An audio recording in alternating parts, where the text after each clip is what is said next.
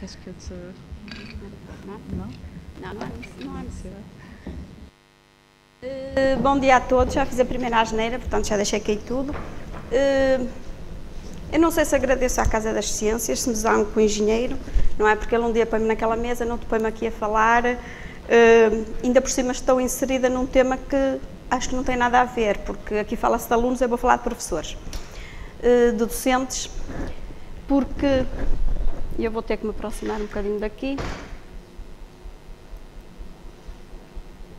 Ora bom, o professor Red Aula, o que é que eu vou falar nesta comunicação? Esta comunicação pretende-se dar algumas, ou apresentar algumas reflexões de uma ação de formação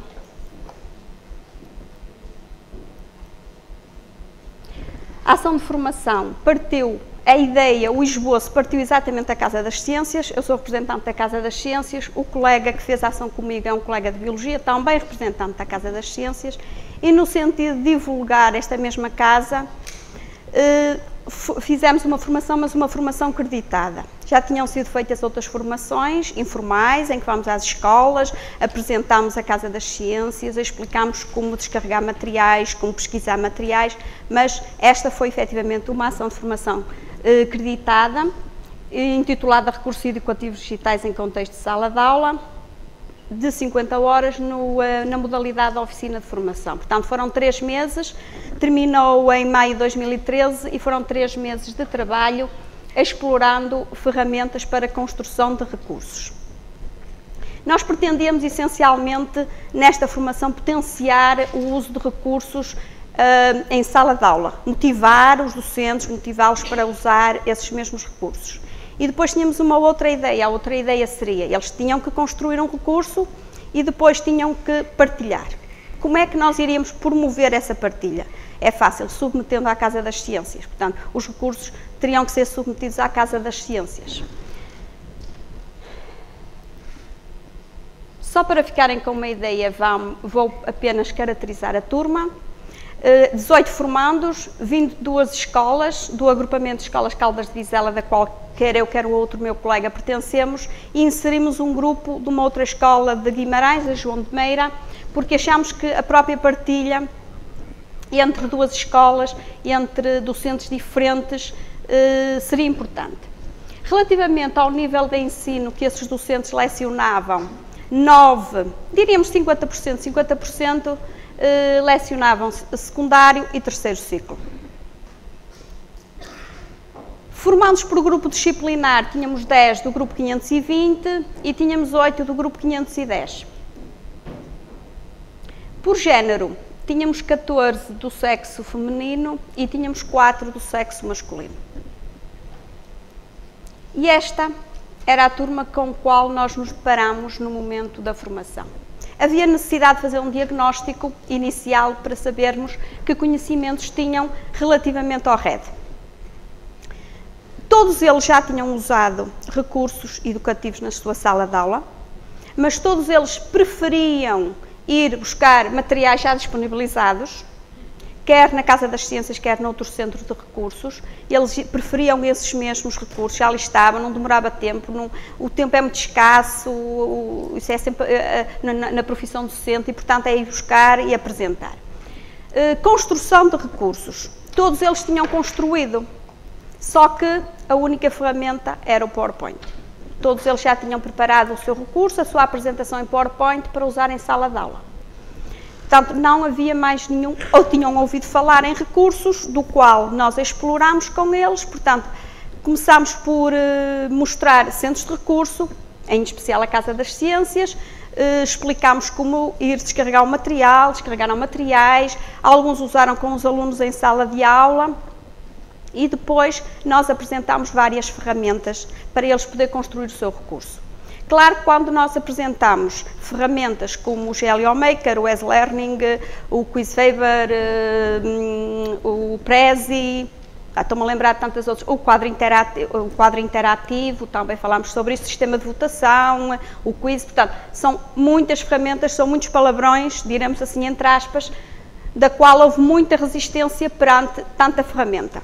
Portanto, a nossa ideia inicial é, não, isto não é uma formação para vocês poderem explorar uh, minuciosamente cada uma destas ferramentas. Elas foram apresentadas, vários exemplos de cada uma das ferramentas, foram exploradas minimamente e depois os formandos teriam que fazer o seu trabalho de casa, teriam que, por eles próprios, fazer as suas, explorar essas ferramentas, para depois construir o seu RED.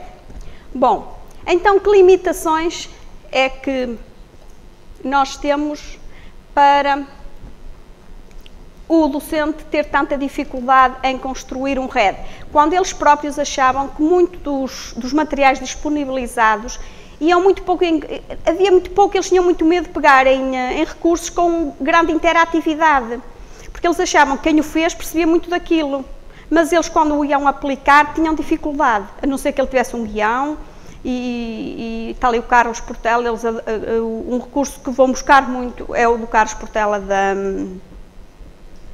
esqueci-me agora do nome. O do efeito fotoelétrico, exatamente, porque tem um guião, ajuda imenso, está lá tudo explicado, passo a passo, como usar, como não usar. Aquele que não tem esse guião é complicado para eles e, portanto, eles realmente usam esses recursos, mas mais um recurso de apresentação. O Prezi, um PowerPoint, algo que anda ali disseminado pela internet, portanto há muita dificuldade, eles achavam que eram muito mais expositivos e tinham muito mais resistência. Ora bom, eu vou apresentar então agora algumas limitações que, atenção, que são limitações desta formação. Se calhar, se nós com outros formarmos, iríamos ter outras conclusões. A idade. A idade. Efetivamente, verificava-se que os formandos mais novos encaravam estas ferramentas com muito mais naturalidade, muito mais entusiasmo, eh, muito mais motivados para as explorar. Os professores com mais anos de serviços apresentavam mais resistência a explorar estas ferramentas. Sexo os homens, apesar de só quatro, têm muito mais afinidade para estas tecnologias. Portanto, eles lidavam com estas, com estas tecnologias, com o computador, com estas ferramentas, eh, portanto, com muito mais eh, naturalidade. Portanto, eles, eu acho que eles já têm, por natureza, mais afinidade. O nível a lecionar. O que se verificava é que os professores do ensino secundário, que lecionavam o ensino secundário, apresentavam uma resistência muito grande em construir um RED. Porquê? Porque eles têm muita dificuldade em eh, conseguir conjugar o tempo de horas para preparar aulas para turmas com, ehm, com exames a nível nacional e com a morosidade de fazer um recurso. Portanto, isto é sempre que eles alegavam, portanto, eh, muita resistência da parte dos professores que lecionavam o ensino secundário. Falta de condições tecnológicas é realmente, isto verifica-se em muitas escolas, a minha é uma delas, é um entrave ao investimento em novos materiais. Porque é que eu vou agora investir num novo material? Se eu tenho que levar dois planos de aula, eu tenho que levar um para usar o, para usar o recurso e outro para o caso ele não funcionar. Porque eu até queria este recurso para, para cada aluno tem o seu computador e o aluno entrasse no seu processo de aprendizagem e eu não tenho um computador para cada aluno. E o acontece é que naquele dia até a internet não vai funcionar. Portanto, no fundo eu tenho que levar sempre ali aqueles dois planos. E depois a falta de formação na área. Há realmente muita falta de formação nesta área. Um, o professor sente muita dificuldade em conseguir reunir competências e saberes para construir um bom recurso só mesmo um trabalho de equipa, e era uma coisa que eles punham logo, portanto, nós queremos trabalhar em grupo, portanto, o trabalho de equipa, a formação, o formando, alguém que lhes dê esse apoio para conseguirem reunir essas competências e saberes. Bom, resultados da ação. Foram realizados nove trabalhos e, hum, tendo em conta essa resistência inicial dos formandos, foi uma surpresa esses trabalhos. Foram trabalhos bons, muito bons, eu diria dois menos bons, os outros muito bons. Uh, usaram ferramentas muito diversificadas. Destas ferramentas que nós apresentamos, uh, estávamos à espera que eles não fossem, eles foram para o S-Learning, que é mais difícil, o GLO, GLO Maker, eles foram, portanto, foi diversificado, os trabalhos foram realmente diversificados em termos de ferramentas. Foram nove. E então, para promovermos essa partilha, eles submeteram os trabalhos à Casa das Ciências. Neste momento, a formação tinha terminado Eles apresentaram na última sessão o trabalho à, tu, à, à turma e terminou a formação, estávamos em maio. Uh, não é nada favorável, maio, fim do, do, ano letivo, a terminar, avaliações e, portanto, eles submetem e acaba a formação, já não tem o formador para, para apoiar. A Casa das Ciências, como sabem, fazem a avaliação científica e didática e envia para os, uh, os autores dos trabalhos sugestões dos referes, quer do avaliador científico, são dois científicos, dois didáticos, as sugestões de alterações do trabalho. Eles receberam essas mesmas alterações, alguns fizeram feedback, receberam, sabemos sempre a partir da Casa das Ciências que eles receberam, só que as alterações têm que ser feitas. Têm que ser feitas, ou pelo menos, se não forem feitas, têm que ser justificadas. E tem que se voltar a reenviar o trabalho para ser, ser ou não publicado. Uh, aqui o processo para. Ou parou para seis trabalhos. Portanto, seis trabalhos não, uh, não voltam a ser enviados, portanto, ficam, uh, não, portanto, os autores desses mesmos trabalhos não procederam a essas mesmas alterações uh, e não são publicados, mas nem tudo é mau. Três são publicados, eles procedem às alterações, voltam a enviar, aqui estão envolvidos sete formandos. Eu uh, faço questão de dizer 7 porque de 18 são 7 que estão envolvidos nestes três trabalhos. Era um grupo de 3, outro grupo de 2 e outro grupo de 2. Três são publicados e um recebe a menção honrosa deste ano do Prémio Casa das Ciências 2014, Respiração Aeróbica, se forem à Casa das Ciências, Biologia, uh, décimo ano, se não estou enganada, começou de Física ou Química, mas penso que é para o décimo ano e o prémio de extinção também da Casa das Ciências deste ano. Portanto, de três publicados, dois recebem prémio este ano. Evidentemente que isso foi uma motivação, uma satisfação pessoal para quem os fez, uma realização, uma realização profissional para quem os fez e uma motivação para quem ficou com eles guardados e não fez as alterações uh, o feedback já me chegou é que isto afinal até se ganha prémios, apesar de nós já o ter dito, já ter explicado tudo isso, não é? Mas só na realidade é que as pessoas veem quando eles vieram com os 750 euros. Uh, portanto, uh, afinal isto até se recebe prémios, se calhar até vale a pena fazer agora as alterações. Portanto, estou convencida que agora, se calhar, alguns deles vão ser submetidos depois destes dois prémios, que não foi nada combinado com o engenheiro, eles mereceram-nos mesmo. Eh, foram realmente os dois trabalhos o que nós demos a melhor nota, portanto, foram, são trabalhos muito bons. Eu, eh, eu, recordo, por exemplo, este trabalho é um trabalho que as, as, as, formandas queriam trabalhar em flash, quer eu, quer o meu colega, nessa área nós não, não mexemos muito, não é? Não temos grandes conhecimentos e dissemos flash, é melhor não irem por aí porque os nossos conhecimentos são muito básicos. Uh, e então eles resolveram o problema facilmente. Portanto, demos a sugestão, portanto, PowerPoints, diapositivos um em cima do outro, colocar aquilo direitinho e depois passa o software Camtasia e elas fazem vídeos. E, portanto, se forem lá ver, elas têm o sistema urinário, portanto, toda a passagem e parece que está trabalhada em Flash. Portanto, elas usam aqui, desde o PowerPoint, usam, um, usam uh, vários softwares, fazem depois uh, o S-Learning é um bocadinho de aprendizagem, usam o quiz com perguntas no final, portanto, o, elas usam aqui vários tipos de recursos, recurso de avaliação, recurso de aprendizagem, recurso de apresentação, portanto, é realmente um trabalho que teve o prémio de distinção e que motivou os outros. Ora bom, e como conclusão, então começamos com 18 formandos,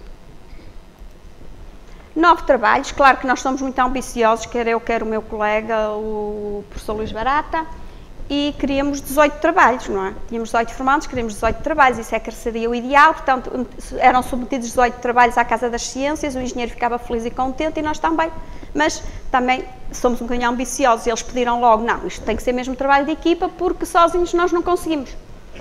Isto é muita ferramenta, isto é muito complicado e, portanto, foram trabalhos de equipa, nós demos a partir daí demos-lhes a liberdade. Só houve mesmo um colega que trabalhou sozinho, houve equipas de dois e só um trabalho que foi o que teve o, o prémio, que era um grupo de três.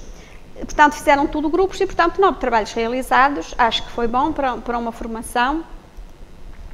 e apenas ter três trabalhos partilhados. Bom, então nós, a conclusão que podemos tirar é que o objetivo, o, o primeiro objetivo que nós nos propunhamos era motivar, construir um recurso, sim, todos eles construíram, saíram de lá mais motivados, testaram recursos no, com os alunos na sala de aula, fizemos questão deles usar recursos muito mais interativos, não tivessem medo de pegar nesses recursos, Uh, e eles saíram de lá, eles próprios, portanto, o feedback era que, porque eles apresentaram no final essas conclusões de, desses trabalhos com o, os alunos, é que realmente eles saem de lá mais motivados.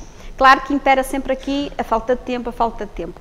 Mas uh, há pelo menos essa parte, eles agora uh, de ir buscar esses recursos, ir buscar quer, a Casa das Ciências, quer a qualquer outro centro de recursos, uh, e saber usar também o recurso, saber usar o recurso, também tivemos uma sessão sobre isso, como usar, como não usar o recurso.